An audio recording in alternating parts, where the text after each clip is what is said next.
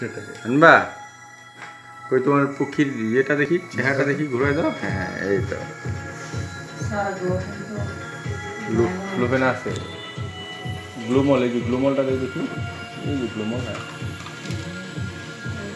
না আর নাই। গ্লুমল না থাক নাই। বাইরে থেকে নিতে হবে। শেষ হয়ে গেছে। হবে ওটা যে কোনো ফার্মেসি পাবে। ফার্মেসি ফার্মেসি তাহলে তুমি আসতেছ? কবে?